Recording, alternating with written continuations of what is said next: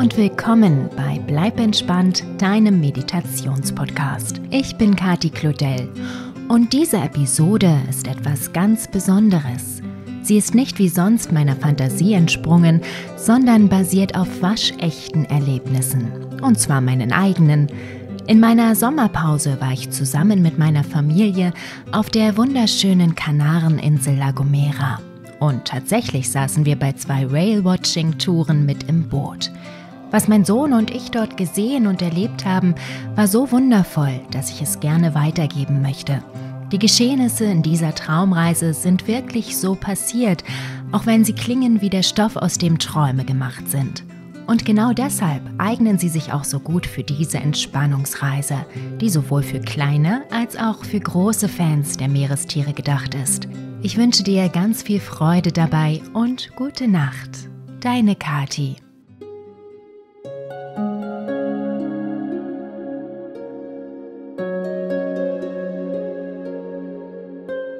Hallo du. Schön, dass du da bist und mit mir auf eine wundervolle Reise gehen möchtest.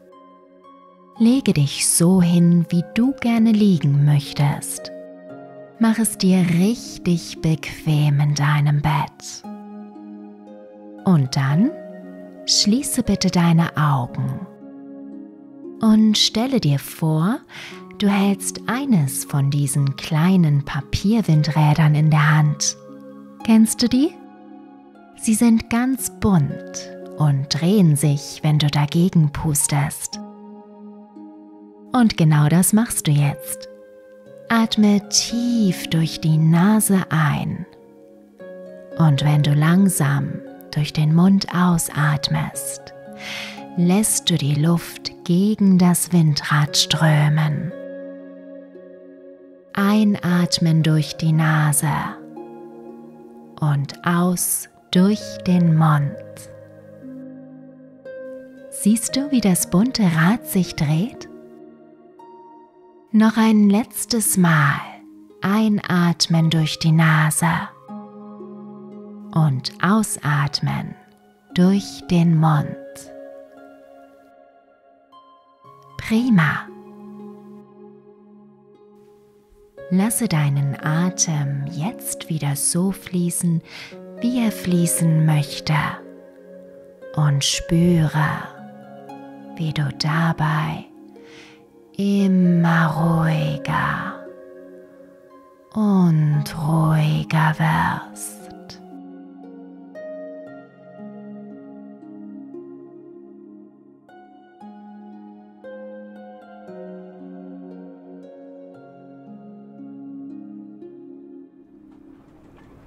Du befindest dich am Hafen von Valle Gran Rey.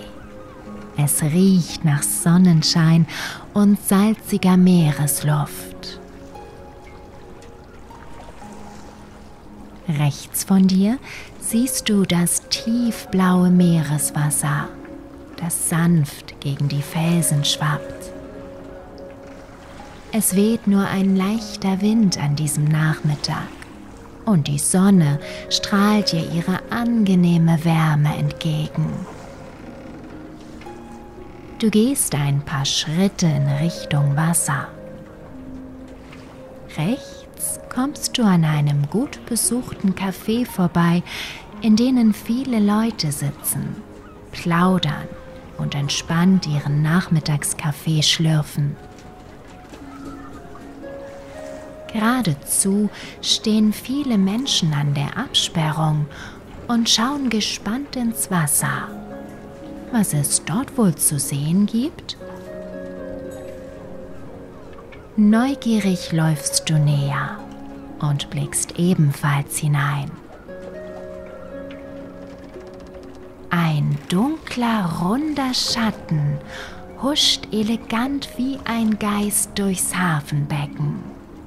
Ein Rochen.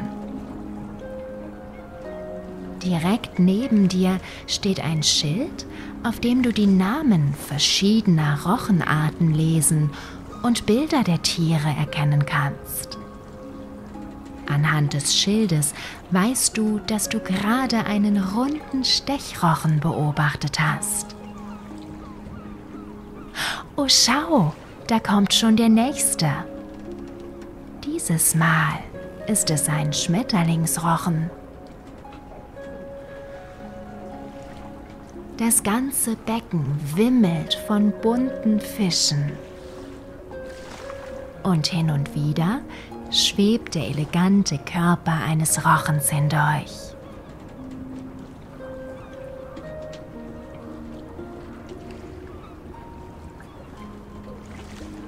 Hinter dir schiebt sich jetzt ein Mann vorbei und eilt mit einem Eimer in der Hand die Treppe hinunter.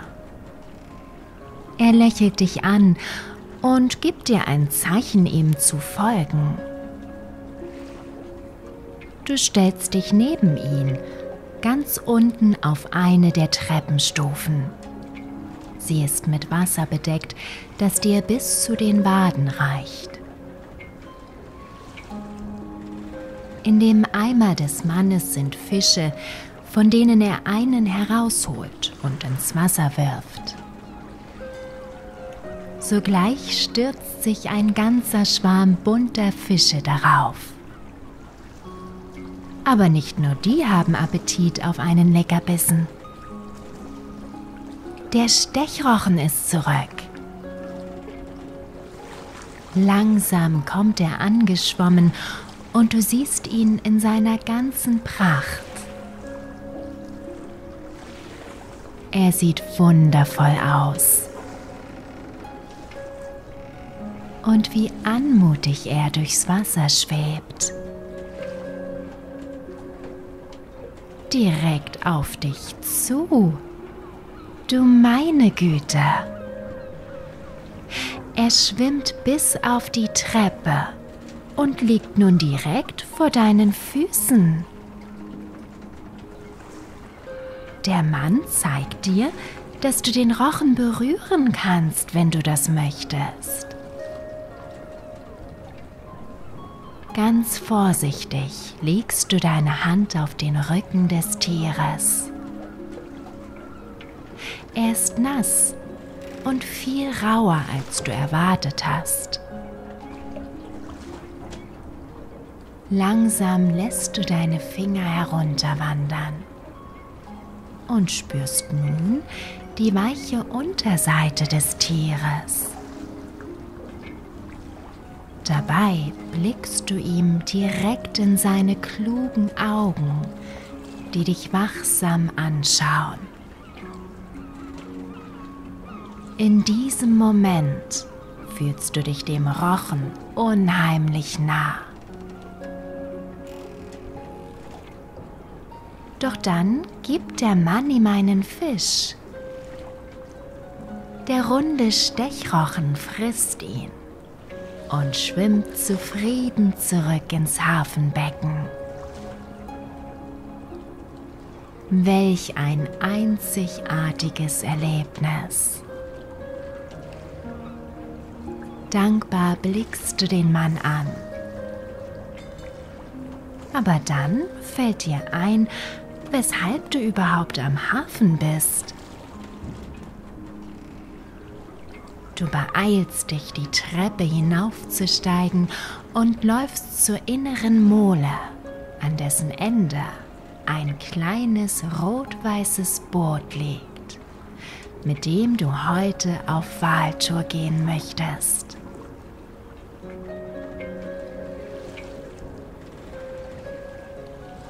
Als du es erreichst, winkt dir schon deine Tourbegleiterin Niki fröhlich zu.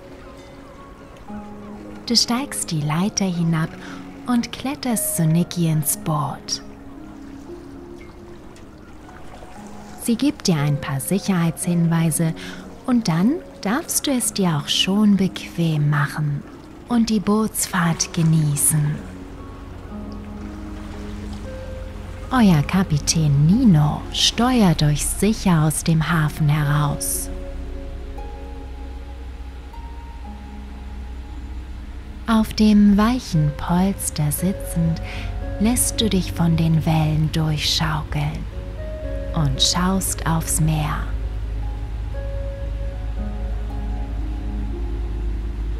Niki steht hinter dir am Bootsende. Zusammen mit dem Bootskapitän hält sie Ausschau nach den Meeressäugern, die du so gerne in freier Wildbahn entdecken möchtest.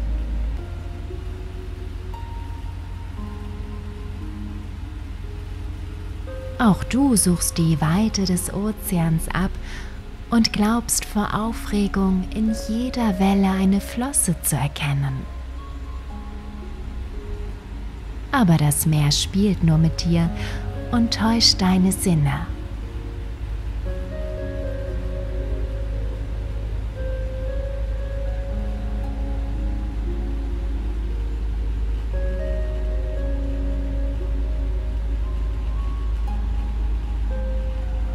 Doch dann dringt ein Ruf in dein entspanntes Ohr. Tortuga heißt es. Schildkröte. Der Kapitän hat eine Meeresschildkröte im Wasser entdeckt. Niki zeigt mit dem Finger darauf und dann siehst auch du das gemütliche Meerestier. Nino stellt den Bootsmotor ab und alles um dich herum wird ganz still. Ohnehin hast du nur noch Augen für das faszinierende Tier dort, ganz dicht unter der Wasseroberfläche. Die Meeresschildkröte ist dem Boot jetzt ganz nah. Deutlich erkennst du ihren braunen Panzer und dessen wunderhübsche Musterung. Sie ist etwa so groß wie ein Wasserball. Niki erklärt dir, dass es sich um eine unechte Karettschildkröte handelt. Aus der Karibik ist sie den weiten Weg bis hierher nach La Gomera geschwommen.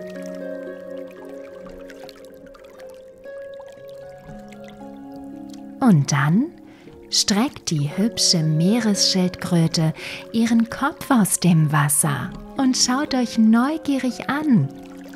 Mein Gott, ist die niedlich.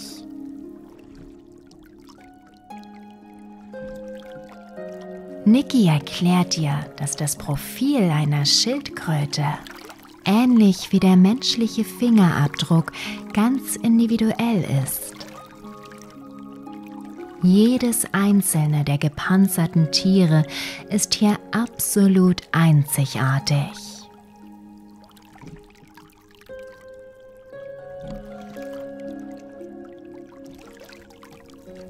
Gerade möchtest du dir den Kopf der unechten Karettschildkröte noch etwas genauer anschauen. Als diese beschließt, lieber wieder abzutauchen. Ach, schade aber es sei ihr gegönnt, denn auch so kannst du das beeindruckende Tier noch gut erkennen. Der Sonne sei Dank. Die Strahlen leuchten tief in das klare Wasser hinein und lassen dich die Meeresschildkröte betrachten, die allerdings langsam aber sicher davonschwimmt.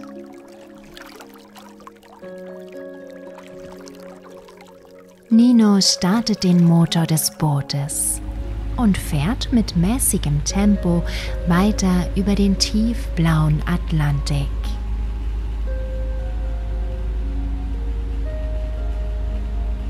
Zu dritt haltet ihr nun weiter Ausschau nach Walen und Delfinen. Doch stattdessen zeigen sich viele Möwen und auch einige der witzigen Gelbschnabelsturmtaucher.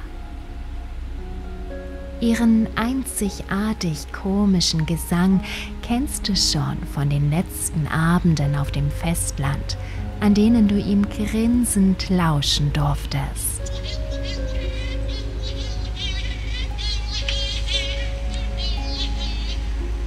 Ein ganzer Haufen der lustigen Seevögel kreist über ein und derselben Stelle. Niki bittet Nino, etwas näher heranzufahren. Manchmal sind Meeressäuger die Ursache für die Vogelversammlung. Wale oder Delfine, die selber nach Nahrung jagen, sorgen häufig dafür, dass die Fische aus dem Wasser springen, um sich in Sicherheit zu bringen. Darüber wiederum freuen sich Möwen oder die Gelbschnabelsturmtaucher, da sie dadurch an einen leichten und schnellen Snack kommen, der ihnen sprichwörtlich in den Mund springt. Ihr beobachtet das Wasser unter den Seevögeln eine ganze Weile lang ganz genau.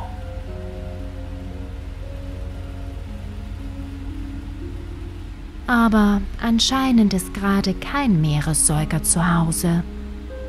Und Niki gibt das Zeichen zur Weiterfahrt.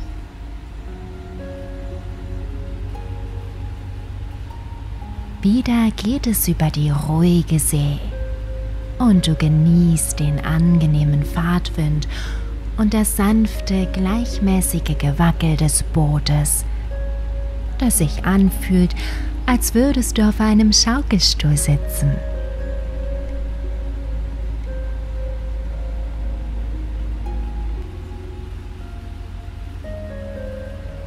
Schließlich schleicht sich Niki in deine Gedanken, die auf entspannte Wanderschaft gegangen sind.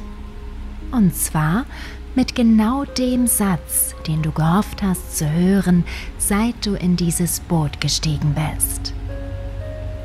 Es geht los, flüstert dir deine Begleiterin zu und winkt dich nach vorne zum Bug des Bootes. Niki sagt dir, du sollst deine Augen auf 11 Uhr richten. Und genau das machst du. Gespannt behältst du die schaukeligen Babywellen des Atlantiks im Blick. Als plötzlich etwas aus dem Wasser springt, beziehungsweise jemand. Delfine. Oh mein Gott, sie sind ganz nah. Es sind vier große Tümmler die direkt vor eurem Boot aus dem Wasser schießen und wieder abtauchen.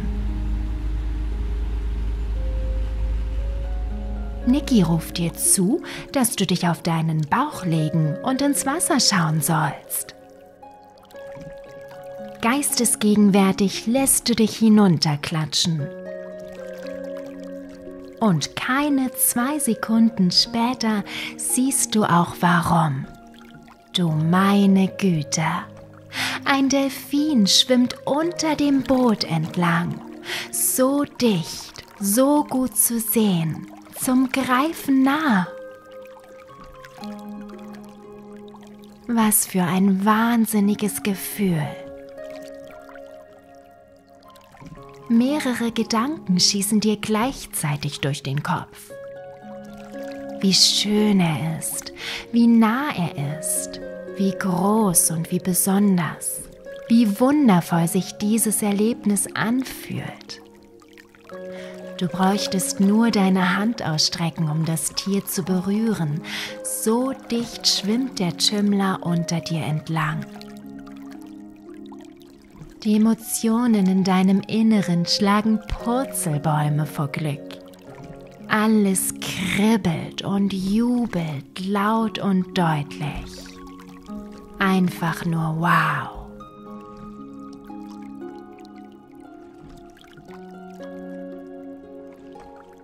Mit feuchten Augen hebst du den Blick und schaust dem Delfin hinterher, der sich wieder zu seinen Freunden gesellt. Fröhlich jagt er mit ihnen um die Wette. Wie verspielt sie sind. Der eine surft richtig über das Wasser, schnell und spritzig wie ein Motorboot. Ein anderer springt hoch in die Luft und taucht elegant wieder in das tiefblaue Wasser hinein.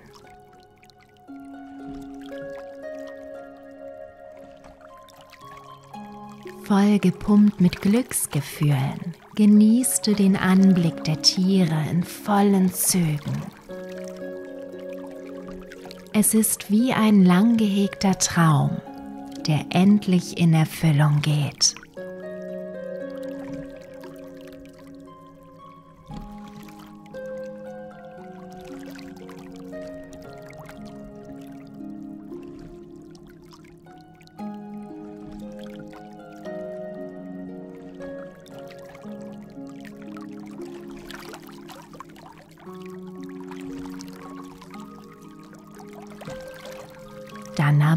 Bekommt Niki einen Anruf. Ein paar Meter weiter sollen Pilotwale gesichtet worden sein. Deine Gefühle über diese Nachricht sind zweigeteilt. Natürlich möchtest du auch die Wale sehen, aber die Delfine jetzt einfach zu verlassen, schmerzt ein wenig. Doch als sich das Boot langsam davon bewegt, springen die Delfine hinterher. Sie folgen euch auf beiden Seiten. Rechts und links schwimmen sie und jagen dem Boot nach. Wie wundervoll ist das denn? Du meine Güte, sind diese Tiere verspielt und so unheimlich lebensfroh. Es ist eine wahre Freude, ihnen zuzuschauen.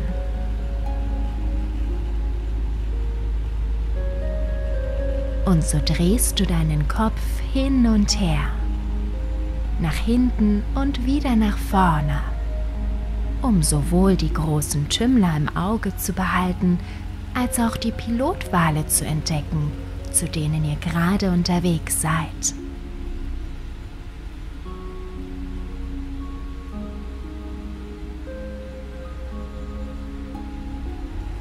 Und da sind sie auch schon. Schau nur. Eine große Gruppe aus Pilotwalen schwimmt in der Ferne.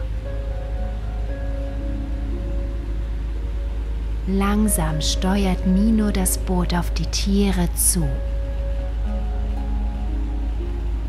Ihr kommt immer dichter und erkennt die Wale langsam besser. Niki ruft, dass das ganz viele Babys sind.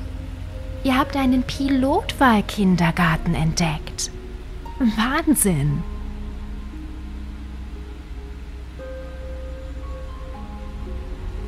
Als ihr ganz dicht bei ihnen seid, macht Nino den Motor des Bootes aus.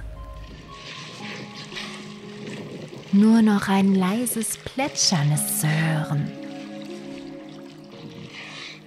Und das Atmen der Wale, die hin und wieder das Wasser aus ihren Luftlöchern nach oben schießen, wie Dutzende schwimmender Springbrunnen. Du hältst deinen eigenen Atem an vor Aufregung. Die großen Tümmler sind immer noch hinter euch, während vor euch der Pilotwahlkindergarten vorüberzieht. Eins der Babys ist besonders neugierig. Immer wieder streckt es sein kleines Köpfchen aus dem Wasser um zu schauen, wer ihr seid. Mein Gott, ist das süß. Und es ist nicht das Einzige. Niki hatte völlig recht. Es sind etliche Pilotwahlbabys auf einem Haufen und auch einige erwachsene Tiere, die auf sie aufpassen.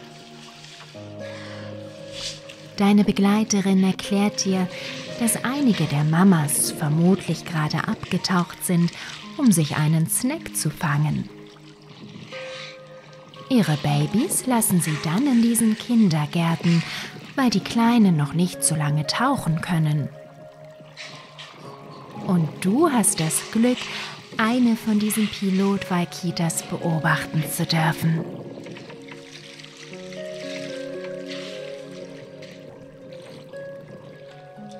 Inzwischen umrunden die Tümmler und Pilotwale fast vollständig euer Boot. Du weißt überhaupt nicht mehr, wo du hinschauen sollst. Überall sind Meeressäuger zu sehen. Und sie sind so wunderschön. Die Tiere haben überhaupt keine Scheu voreinander. Ganz im Gegenteil.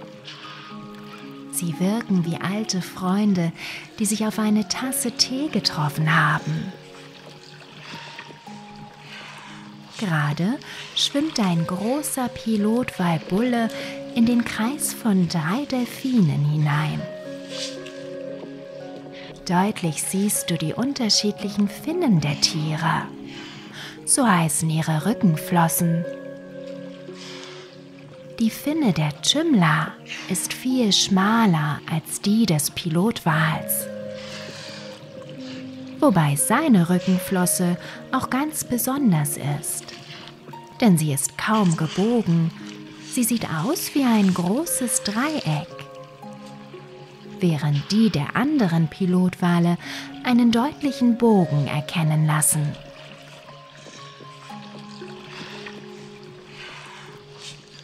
Eine ganze Weile bleibt ihr einfach an Ort und Stelle, um die vielen Delfine und Pilotwale zu beobachten, solange ihnen das recht ist.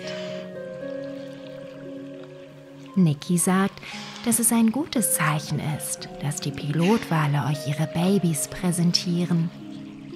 Sie scheinen viel Vertrauen zu haben, denn sonst würden sie einfach abtauchen und davonschwimmen.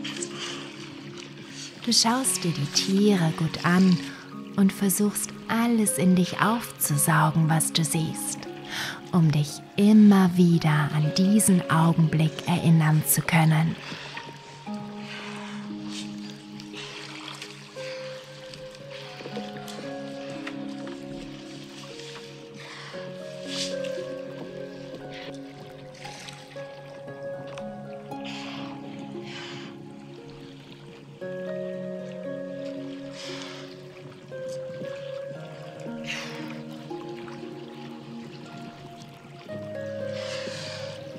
Schließlich entfernen sich die Pilotwale und die großen Chimler immer mehr von eurem Boot.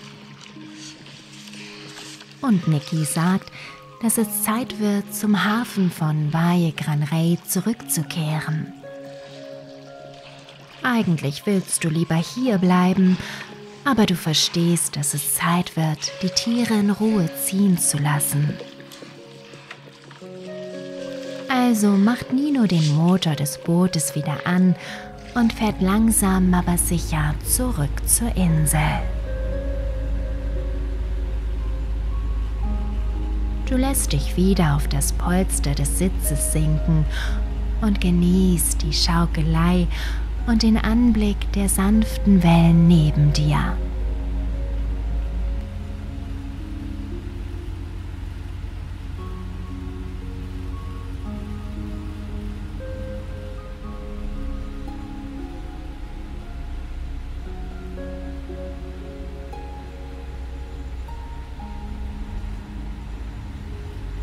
Ihr kommt La Gomera immer näher.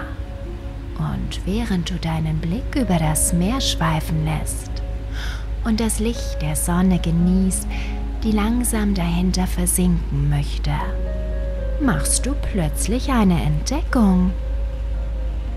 Da sind Wale. Direkt vor uns, rufst du Niki zu.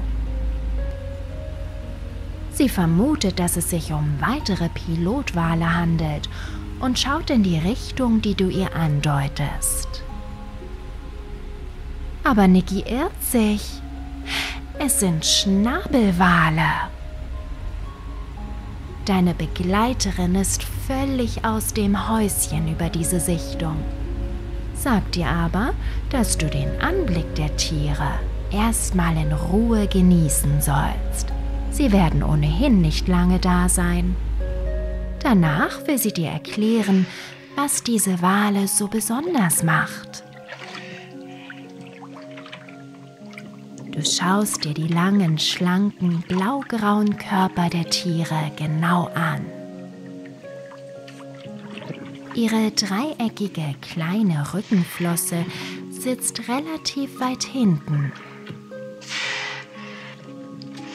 Anders als Nicky dachte, bleiben die Tiere eine ganze Weile gut sichtbar in eurer Nähe. Mehr noch, die vier Schnabelwale schwimmen dicht ans Boot heran, sodass du sie in ihrer ganzen Pracht bewundern kannst. So erkennst du helle Flecken auf ihren Rücken.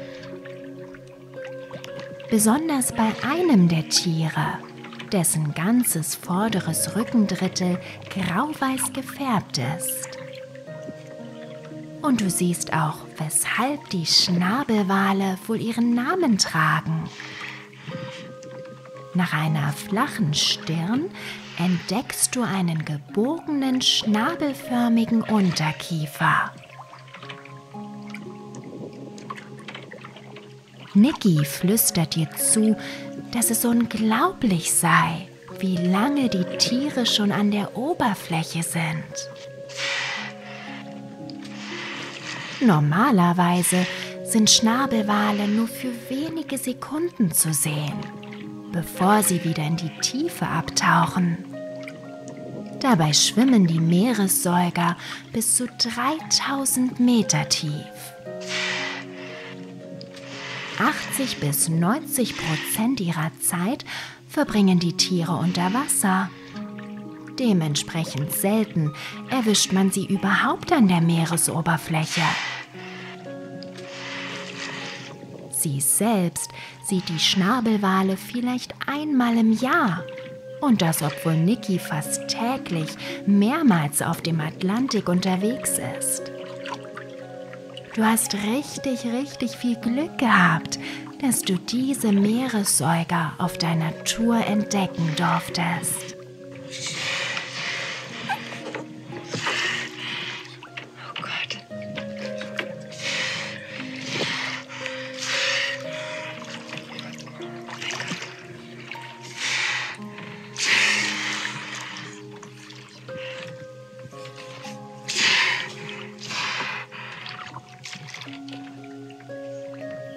Mehreren Minuten tauchen die Schnabelwale schließlich endgültig ab und Nino startet erneut den Bootsmotor.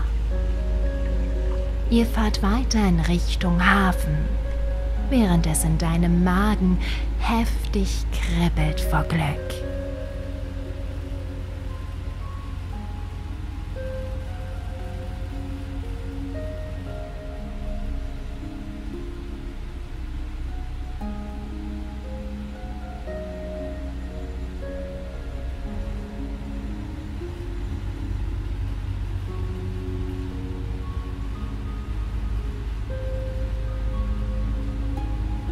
Schließlich legt ihr wieder an der inneren Mole im Hafen von Valle Gran Rey an.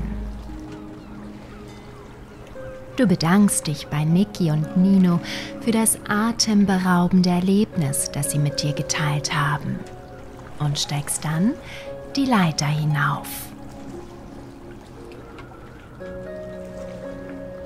Das Meer zu deiner Linken läufst du durch Valle Gran Rey zurück zu deiner Unterkunft. Die Sonne versinkt nun endgültig hinter dem Meer und malt den Himmel orange-rot.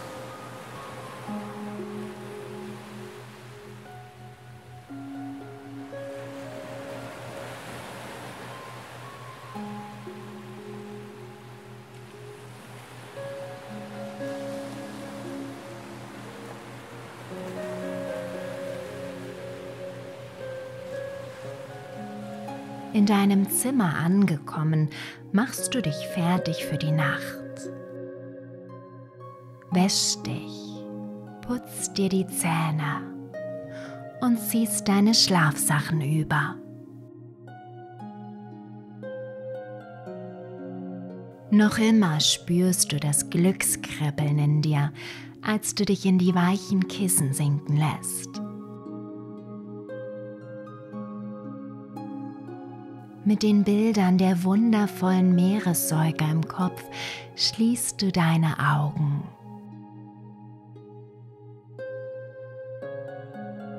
Eine angenehme Müdigkeit fließt durch deinen gesamten Körper. Alles wird ganz weich und leicht.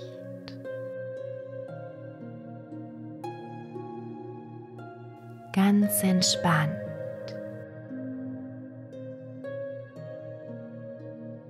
Du wirst ruhiger und ruhiger. Lässt dich treiben. Immer weiter und weiter.